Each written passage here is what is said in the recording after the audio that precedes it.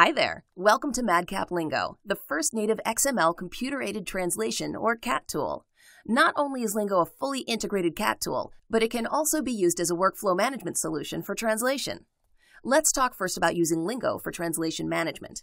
This is where an author would use Lingo to transfer files to and from a translator. Why not just email documents to the translator or use some other simple method to transfer them?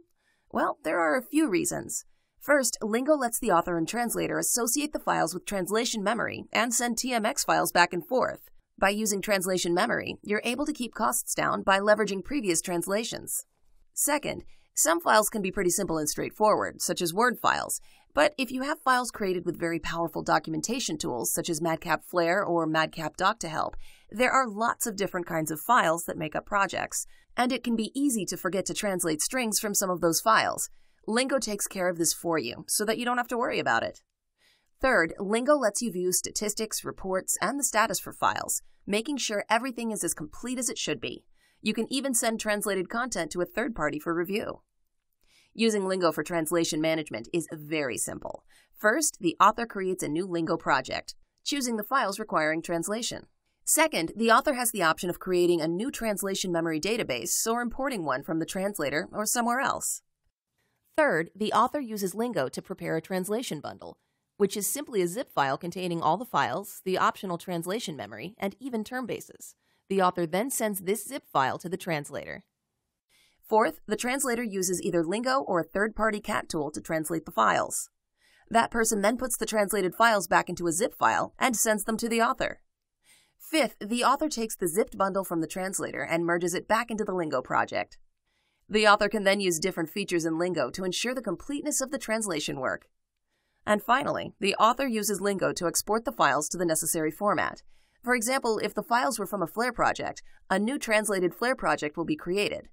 If the files were from a Word document, a new translated Word document will be created.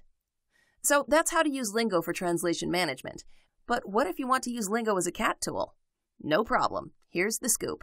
First, Lingo will let you translate all kinds of different files Flare projects, other MadCap software files, Word documents, HTML or XML files, Excel, PowerPoint, and so on.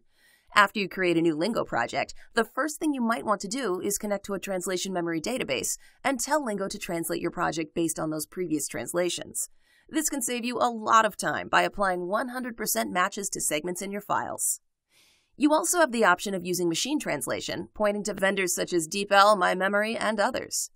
A good initial machine translation of your project can really give you a good head start. The File List window pane lets you view and open the files that need to be translated. In the translation editor, you can see the text strings in the original language, and you can type translation in each empty cell. When working in the editor to translate the text, there are all kinds of features that you can use to help you. If you're using translation memory, you can see full or partial matches and apply them. A filter at the top of the editor lets you limit the segments that are shown in the editor. Also, you can click a toggle button to open a live preview mode for certain types of files such as Word, PowerPoint, MadCap Flare, or MadCap Capture images with callouts.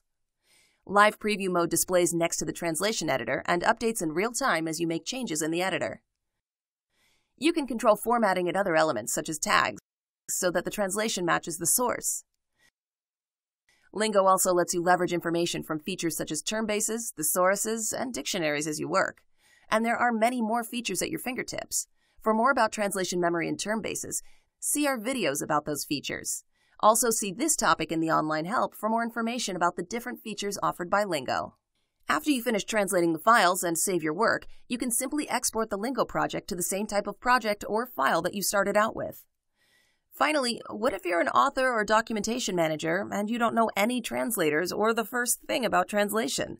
But you have this big collection of documentation that you need to get translated, maybe into multiple languages. A great solution is to contact MadTranslation, the translation services division of MadCap Software.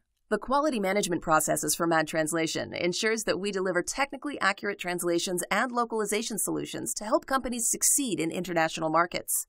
Our unique understanding of the technical authoring industry, combined with the highest commitment to customer satisfaction and value, ensures every stage of the project lifecycle meets the highest quality standards.